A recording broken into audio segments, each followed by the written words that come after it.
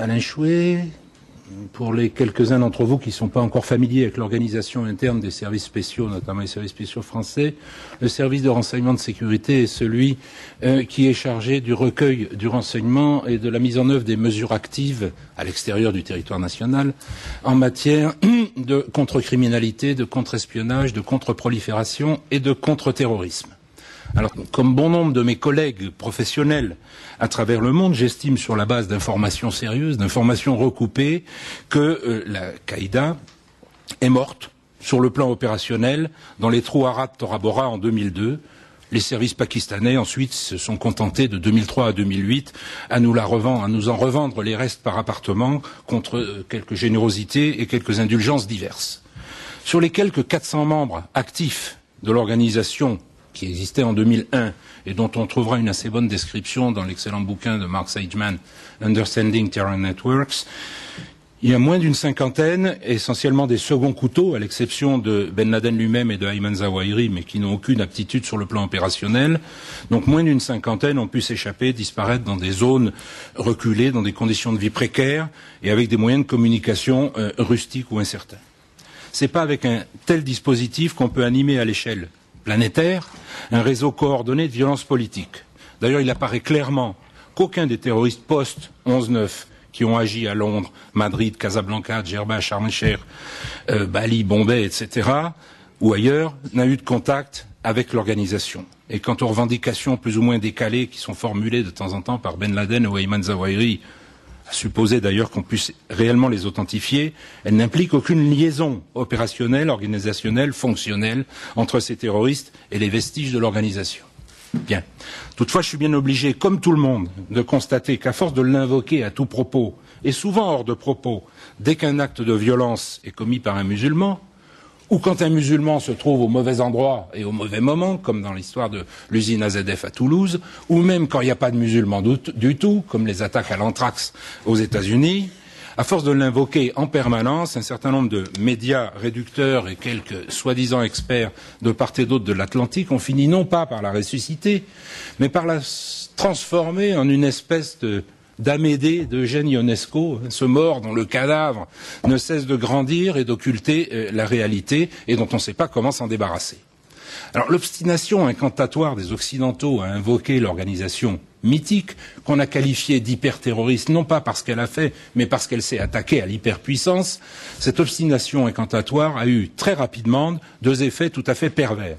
Premier effet, tout, euh, tout contestataire violent dans le monde musulman qu'il soit politique ou de droit commun, quelles que soient ses motivations, a vite compris qu'il devait se réclamer de la Qaïda s'il voulait être pris au sérieux, s'il voulait entourer son action d'une légitimité reconnue par les autres, et s'il voulait donner à son action un retentissement international.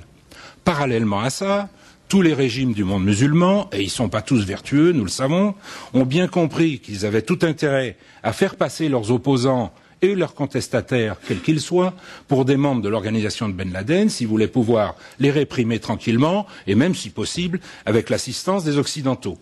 D'où une prolifération de Qaïda plus ou moins désignés ou autoproclamés au Pakistan, en Irak, au Yémen, en Somalie, au Maghreb, ailleurs, le,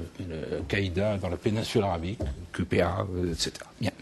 principal résultat de cette dialectique imbécile, ça a évidemment été de renforcer effectivement le mythe d'une Qaïda omniprésente, tapis derrière chaque musulman, prêt à l'instrumentaliser pour frapper l'Occident en général, les États-Unis bien sûr en particulier, au nom d'on ne sait pas trop quelle perversité. Et cette vision-là, elle procède de plusieurs erreurs d'appréciation et de perspective, et elle génère surtout des ripostes totalement inadaptées. Parce que si la Qaïda n'existe pas, la violence politique islamique existe, elle, bel et bien. Et l'Occident n'en est qu'une victime indirecte et collatérale. Les idéologues de la violence islamique ne sont pas des fous de Dieu. Ce sont des gens qui ont des objectifs précis. Et leur objectif, ce n'est pas d'islamiser le monde, c'est de prendre le pouvoir et les richesses qui y sont liées dans le monde musulman sans que l'Occident intervienne. Un peu suivant la même démarche qu'avait suivi à son époque le frère Hassan Tourabi au Soudan. Alors même si l'amour-propre des Occidentaux doit en souffrir, il faut répéter sans cesse que les principales, les plus nombreuses et les premières victimes de la violence islamique sont les musulmans. Et de fait, partout où la violence djihadiste s'exprime, c'est toujours évidemment dans les zones les plus fragilisées du monde musulman et de ses communautés immigrées, sa genèse repose toujours sur la même logique ternaire. Premier élément, une surenchère idéologique et financière du régime séoudien et de ses opposants locaux ou de ses rivaux. Deuxième élément, une forte implantation locale de l'association des frères musulmans ou de ses émanations que sont les Jama'a Islamiyah, qui profitent des surenchères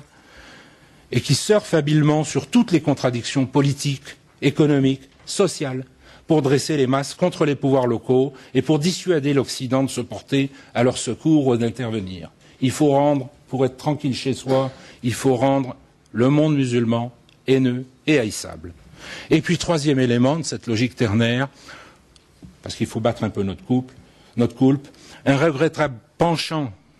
euh, de la diplomatie et des services occidentaux américains en tête bien sûr, et de leurs alliés locaux, à soutenir dans le monde entier, souvent militairement, les mouvements politiques les plus réactionnaires et les plus intégristes sur le plan religieux, comme rempart contre l'Union soviétique jusque dans les années euh, 90, et dans la politique de containment de l'Iran ensuite depuis les années 80. Et ce même cocktail de trois éléments produit pour des raisons très différentes qui sont liées à des contentieux locaux non résolus ou à des interventions extérieures mal maîtrisées, produit les mêmes effets, effectivement, en Afghanistan, au Pakistan, en Indonésie, en Irak, au Yémen, en Somalie, au Maghreb, euh, dans les pays de la zone sahélienne et jusque dans les zones de non-droit euh, de, des communautés musulmanes immigrées en Occident. Je ne vais pas entrer, pour des raisons de temps, dans le détail de ces différentes situations de violence politique, mais il faut bien constater que si elles se développent toutes suivant à peu près le même cheminement, elles correspondent à des problématiques locales totalement hétéroclites et mettent en jeu des acteurs qui ne communiquent que très peu entre eux. Et s'ils se réclament tous du même drapeau mythique, c'est parce qu'ils savent bien que ce drapeau a valeur de croque-mitaine pour les pays d'Occident en général, pour l'Amérique en particulier, qui sont tous supposés pouvoir apporter leur soutien aux régimes les plus contestés. Alors, Benguiga, bien sûr, on pourra toujours m'objecter que, puisque la violence djihadiste existe bien et qu'elle se développe à peu près partout suivant les mêmes schémas, peu importe qu'on l'appelle ou non Al-Qaïda, qui ne serait alors que l'appellation générique d'une certaine forme euh, de violence intégriste mondialisée. Euh, bon, un certain nombre de journalistes devenus plus prudents maintenant, au lieu de nous parler d'Al-Qaïda, nous parlent de la nébuleuse Al-Qaïda. Alors, la nébuleuse, c'est nébuleux, et le problème, effectivement, c'est qu'une telle confusion sémantique est à l'origine de toutes les mauvaises réponses et exclut de facto toute solution adaptée au problème. En désignant la Qaïda comme l'ennemi permanent contre lequel il faut mener une croisade par des voies militaires et sécuritaires totalement inadaptées à sa forme réelle, on a pris une mitrailleuse pour tuer un moustique. Alors évidemment, on a raté le moustique, mais les dégâts collatéraux sont patents, comme on peut le constater au quotidien, en Irak, en Afghanistan, en Somalie, au Yémen. Et le premier effet de cette euh, croisade ratée,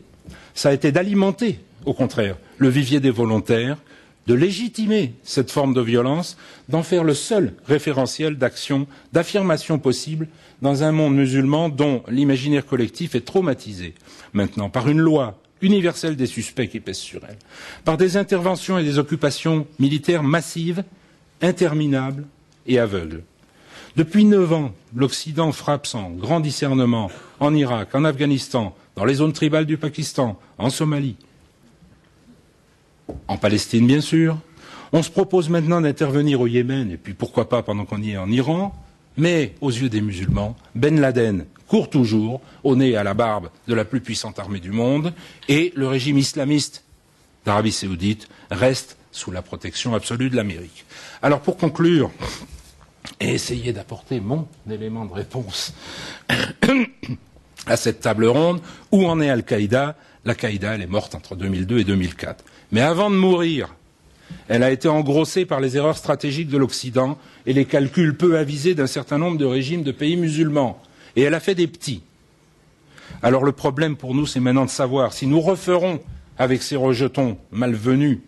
les mêmes erreurs en alimentant un cycle indéfini de violence aussi, pour garder la référence à UNESCO, nous saurons, avec nos partenaires arabes et musulmans, enrayer la prolifération des rhinocéros. Merci.